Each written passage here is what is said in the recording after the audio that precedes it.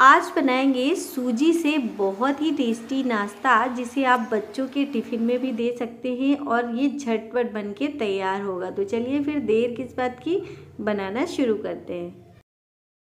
इस नाश्ते को बनाने के लिए हमें ज़रूरत होगी सूजी की। तो यहाँ पर मैंने एक कटोरी सूजी ली है। ये बारीक वाली सूजी है। अगर आपके पास मोटी वाली सूजी है तो और भी ज़्यादा अच्छा है। तो यहाँ पर हमने कढ़ाई में डाला दो छोटे चम्मच देसी घी घी की जगह आप तेल भी डाल सकते हैं। तेल गरम हो जाएगा, आधा चम्मच हम इसमें डाल देंगे राई और राई को हल्का सा भूनेंगे, फिर हम इसमें ऐड करेंगे आधा चम्मच जीरा और इसे भी हल्का सा भून लेंगे। एक छोटी चम्मच चने की दाल डाल देंगे और एक छोटी चम्मच ही हम उड़द दाल डालेंगे। और इन दालों को हम हल्का सा सुनहरा कलर आने तक भूनेंगे लो मीडियम फ्लेम में। तो ये देखिए, दाल हमारी अच्छे से भून चुकी है। इसमें हम डाल देंगे थोड़े से करी पत्ते तो लगभग 10 से 15 मैंने करी पत्ते डाले हैं और इनको भी हल्का सा भून लेंगे। अब हम इसमें ऐड कर देंगे सूजी।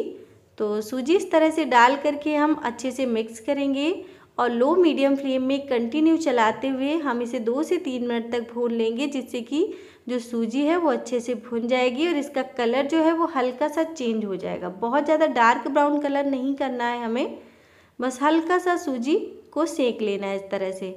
तो ये देखिए, लगभग दो से ढाई मिनट तक मैंने इसे भूना है और सूजी हमारी बढ़िया से भून चुकी है। अब हमने गैस बंद कर दी है और इसका कलर भी हल्का सा चेंज हो गया है। अब हम इसे निकाल लेंगे एक बड़े बाउल में और अच्छे से ठंडा हो जाने देंगे। तो ये देखिए, अब ये पूरी तरह से बढ़िया से ठंडा हो गया है।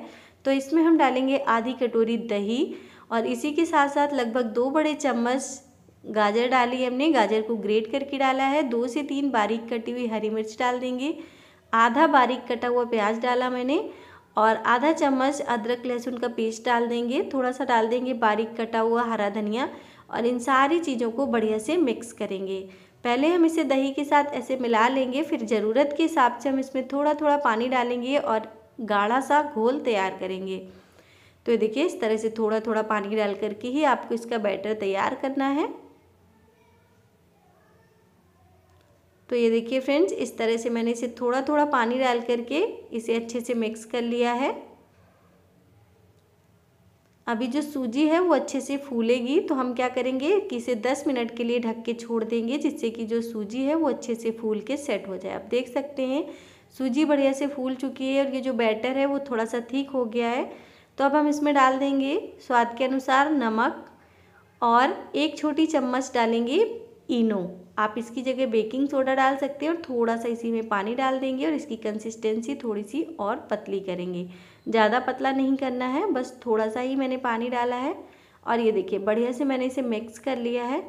और इनो आपको तब डालना है जब आप ये नाश्ता बनाने वाले हों, यानी कि बनाने से तुरंत पहले ही आपको इनो डालना है।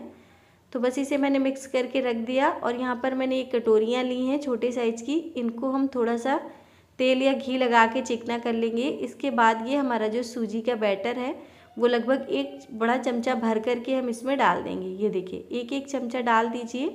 और अगर आपके पास इडली मोल्ड नहीं है तो इस तरह से आप कटोरियों में बना सकते हैं, क्योंकि कटोरियाँ तो सबके यहाँ अवेलेबल होती हैं। तो यहाँ पर मैंने इस तरह से इसे चार कटोरियों में फिल कर लिया है। कढ़ाई में लगभग एक गिलास के जितना पानी गर्म होने के लिए रखा है।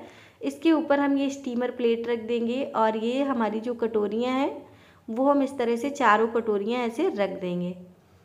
फ्लेम को कर देंगे मीडियम टू हाई के बीच में और इसे हम ऐसे ढक देंगे और ढक करके हम इसे लगभग 10 से 12 मिनट तक कुक करेंगे। 10 से 12 मिनट में हमारा जो ये नाश्ता है, वो अच्छे से स्टीम हो जाएगा। तो लगभग 12 मिनट हो चुके हैं और चेक कर लेते हैं। तो जब आप इस तरह से डाल के देखेंगे और ये एकदम सूखा आता है लकड़ी एकदम सूखी आ रही है तो इसका मतलब है कि हमारा जो नाश्ता है वो अच्छे से कुक हो चुका है।